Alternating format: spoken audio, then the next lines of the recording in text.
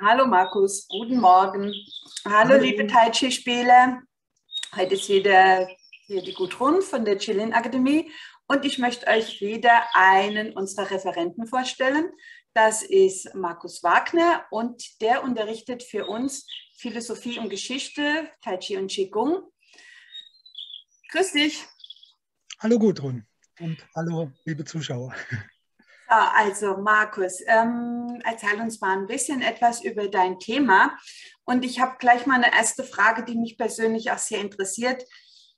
Geschichte und Philosophie, das ist jetzt, klingt erstmal sehr theoretisch und ja, die meisten Tai Chi und Qigong-Leute, die wollen gerne in die Praxis gehen und wollen auch einfach ihre Übungen machen. Warum sollen wir uns denn Zeit nehmen, uns überhaupt mit diesem Thema zu beschäftigen? Was ist dir daran so wichtig? Also vorweg, wir werden im Seminar Praxis praktizieren, üben, ähm, aber äh, dann zu, jetzt konkret zu deiner Frage, warum ist die Geschichte interessant für unsere Praxis? Ja. Ähm, als ich zum Beispiel mit dem Tai Chi angefangen habe, 1997, ähm, da habe ich mir nicht einen Stil ausgesucht oder irgendwas Spezielles ausgesucht. Ich habe einfach bei der Volkshochschule Tai Chi begonnen. Und das war für mich das Tai Chi schlechthin. Ja. Ähm, und ich habe erst im Laufe der Zeit gelernt, dass das eine spezielle Variante des Tai Chi war. Und wenn man das so ein bisschen nachvollzieht, äh, ohne jetzt zu sehr ins Detail zu gehen, einfach nur mal die Orte, wo das quasi entlang äh, gegangen ist, dann ist das schon eine ganze Menge spannendes Zeug. Ne? Das hat angefangen, äh, der Yang Luchan aus Yongyan, der kam ins Chen-Dorf, hat dort was gelernt, ging nach Peking und wurde dann zum berühmten, un unbesiegbaren Yang Luchan, hat seinen Sohn unterrichtet und den Chuan Yu.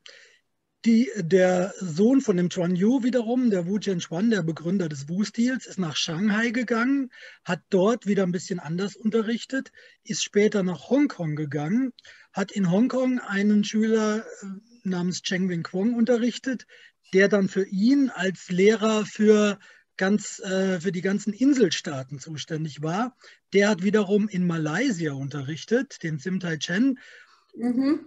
Der Österreicher Gerald Hofer ist nach Malaysia und hat bei Sim was gelernt und ist dann irgendwann zu seinem Studium, zu seinem äh, Doktoratsstudium nach Marburg gekommen und hat dann in Marburg an der Volkshochschule unterrichtet und bei dem habe ich einen Kurs gemacht. Mhm. So bin ich zu einem ganz speziellen Stil gekommen mit einer bestimmten Geschichte. Ja. Und so hat jeder Stil eine Geschichte. Jeder, der heute Tai Chi praktiziert und übt, der ja. hat so eine Geschichte im Hintergrund. Und das ist sehr spannend, die zu kennen und ähm, auch sozusagen die Stationen ein bisschen kennenzulernen, was sich in diesen Stationen wie anders und weiterentwickelt hat. Kannst du uns denn da mal ein Beispiel geben? Also wenn ich jetzt in den Kurs komme, woran würde ich denn das merken oder was, was wäre denn der, der Aus, also wie wird sich das ausdrücken in den, in den praktischen Übungen?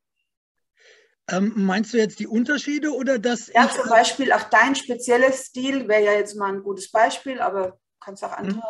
Ja. Also ähm, ich praktiziere verschiedene Stile, aber der Stil, über den ich gerade gesprochen habe, zum Beispiel, ist da eine Besonderheit, dass dieser Chen Wing Kwong, der ist ein Wu-Stil-Lehrer, ähm, der hat aber auch sich sehr stark für Qigong, für spezielle Arten von Qigong ah, äh, ja. interessiert und ähm, hat seltene Arten von Qigong gelernt, das spontane Qigong, Ziffergong und äh, ein esoterisches Qigong und diese Dinge fließen in das Tai Chi bei mir mit ein. Und bei anderen fließen andere Dinge mit ein. Ah, ja, genau.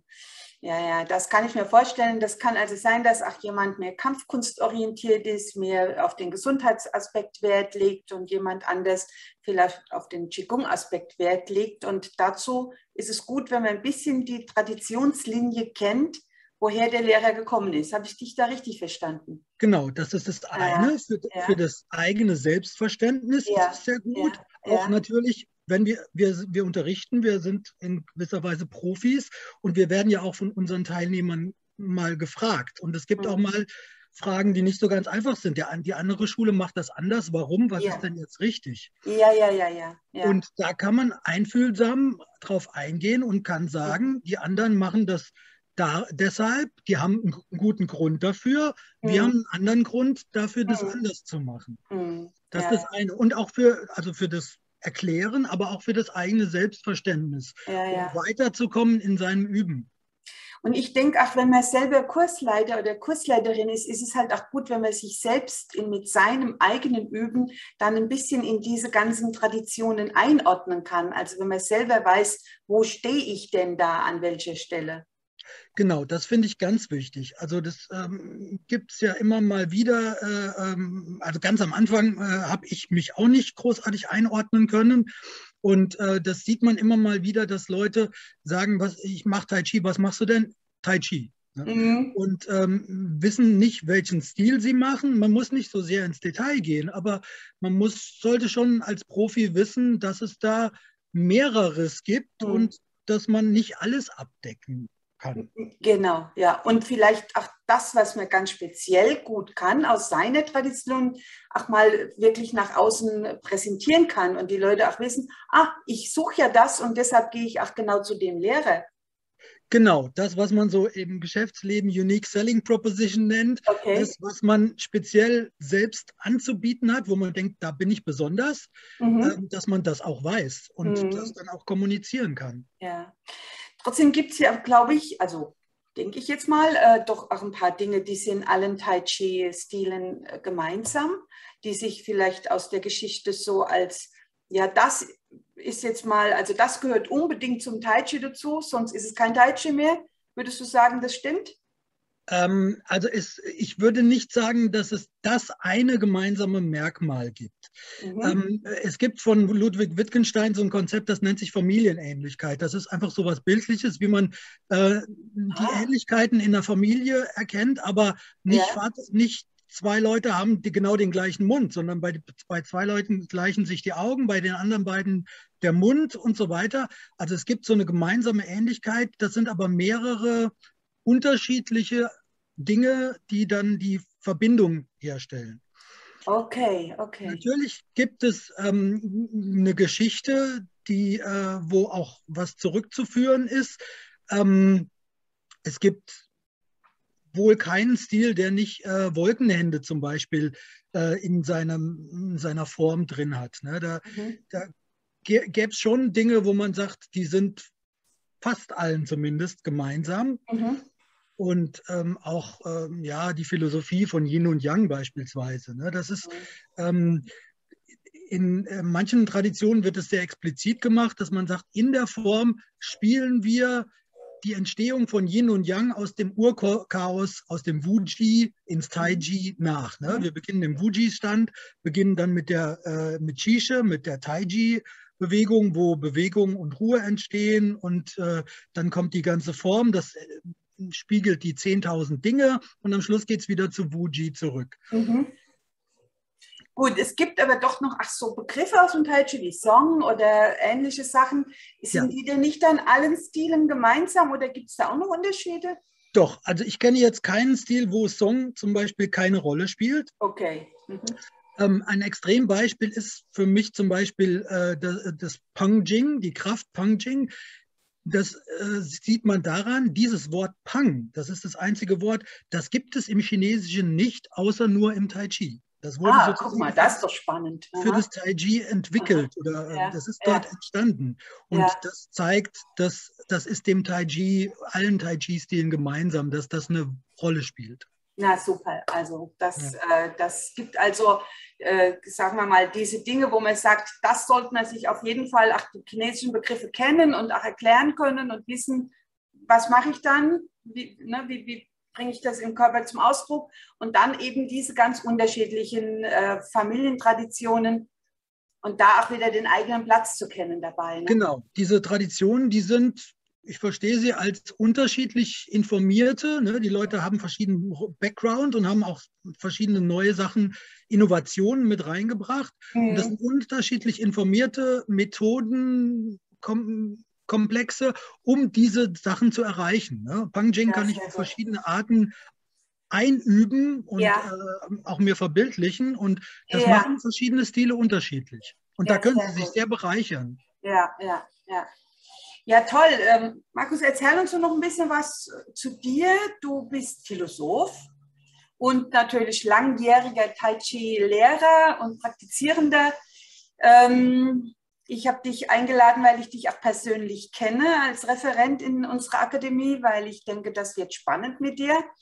Wie bist du denn da? Wie war dein eigener Weg? Mein eigener Weg. Ne? Das sind zwei Wege, die zu, sehr stark zusammengekommen sind. Ähm, ich, wie, wie, du schon gesagt hast, ich habe Philosophie studiert, äh, Philosophie, Religionsgeschichte und Religionswissenschaft in, äh, erst in Mainz und dann in Marburg und äh, im Rahmen der, des Philosophie- und äh, Religionswissenschaftsstudiums bin ich auf Buddhismus, dann auf Daoismus gestoßen. Und ähm, über den Daoismus habe ich dann kennengelernt, dass es so etwas wie Tai Chi überhaupt gibt. Und ab, also fand den Daoismus sehr spannend und ähm, es ist nicht eins zu eins Tai Chi Daoismus, aber es hat miteinander zu tun. Und dann habe ich mal Tai Chi ausprobiert und das war 97 mhm. und seitdem bin ich dann äh, kontinuierlich dran geblieben. Also ich habe 2002 angefangen zu unterrichten Mhm. Habe mein Studium 2003 abgeschlossen. Mhm. Äh, ich, komme noch aus der Zeit, als man ähm, lange und ausgiebig und sehr frei studieren konnte. Also ich habe auch mhm. Veranstaltungen in der Ethnologie gemacht, in der Indologie, in der Sinologie habe ich über äh, mhm. Chuangzi Veranstaltungen gemacht. Mhm. Und ähm, ja, so ist das zusammengekommen äh, und äh, ja, das äh, Tai Chi ist auch ein großes philosophisches Feld, wo man ja. sich dann auch äh, beschäftigen kann und äh, immer mehr rausforschen kann. Da würde ich mich gerne nochmal mit dir drüber unterhalten. Wir haben ja schon gesagt, ich besuche dich demnächst mal und dann erzählst du mal noch was über das andere Modul, das du auch für die Chilin Akademie machst. Da bin ich schon sehr gespannt und freue mich darauf. Jetzt vielleicht noch ein paar Tipps, wie wird denn das sein? Es gibt ein Online-Seminar diesmal. Ähm, was erwartet die Teilnehmer an dem Wochenende? Wie willst du das machen? Ja, wie, also wie es hier schon vorhin so ein bisschen angeklungen ist, also mir ist es wichtig, ähm, die Brücke zu schlagen zwischen den verschiedenen Stilen, den verschiedenen Traditionen. Ich gehe davon aus, dass Leute aus verschiedenen Traditionen kommen zu diesem Seminar. Das wird, die werden nicht alle aus der gleichen Tradition sein. Ja, gehe ich auch davon aus, ja. Und äh, das ist ganz klar eine Bereicherung. Da kann ja. man sich austauschen. Ja. Und das wollen wir ausgiebig tun. Mhm. Ähm, dass je, jeder ein bisschen was vorstellt. Also ganz, äh, ganz, äh, da braucht man nicht irgendwie großartig was zu präsentieren, sondern einfach mal zeigen, wie machen Sie es und dann stellen sich mir schon Fragen, wo ich drauf eingehen kann, wo wir darüber diskutieren kann. Ja, wie ist denn das? Der eine rollt zuerst den Fuß ab, der andere äh, setzt die Ferse ab und äh, geht dann gleich mit dem Gewicht nach vorne. Welchen Effekt hat das? Wie steht das in Verbindung mit der Taillendrehung oder anderen Sachen. Also da wollen wir sehr viel dran arbeiten. Entschuldigung, ich muss das hier mal ausmachen. Das Handy hat gerade, klingelt gerade. So, aus ist es. Ja, und das klingt jetzt mal nach sehr praktischer Tai Chi-Übung, ne? Genau, genau, ja, ja, ja, ja. Und das dann wieder in Kombination mit theoretischen Abschnitten oder wie wird es sein? Ja, natürlich, also es wird einen Input geben. Also damit, mhm.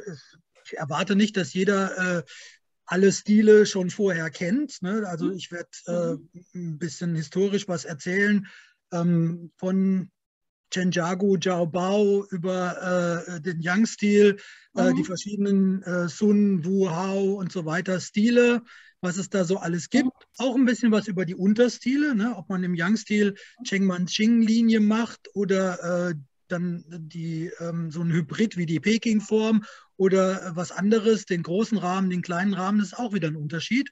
Ja. Da werde ich ein bisschen was drüber erzählen. Ja. Und dann wird es ziemlich leicht für die Leute, ihren eigenen Stil da einzuordnen.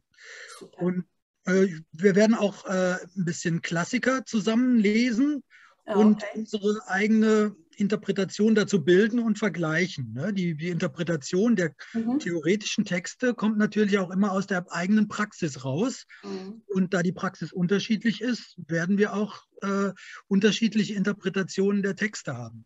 Sehr schön, ja. So wird das ein Wechsel zwischen Theorie und Praxis. Super. Ja, vielen Dank, Markus. Das klingt alles sehr spannend. Ähm, also, liebe Kursleiter und Kursleiterinnen, äh, meldet euch an, bringt euch ein, bringt euren Stil mit ein. Das wird bestimmt super toll. Je mehr unterschiedliche Stile, desto spannender wird das Wochenende. Mhm. Und äh, ich freue mich schon drauf. Vielleicht gucke ich auch mal mit rein. Ich glaube, ich habe an dem Wochenende nicht auch ein bisschen Zeit. Also es interessiert mich selber auch sehr.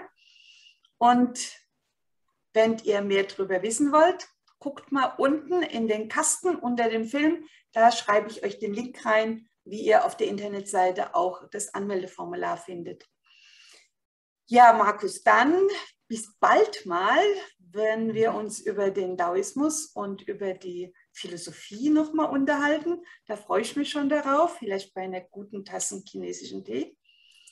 Ja. Okay, dann mach's gut. Ja, tschüss, tschüss. Tschüss.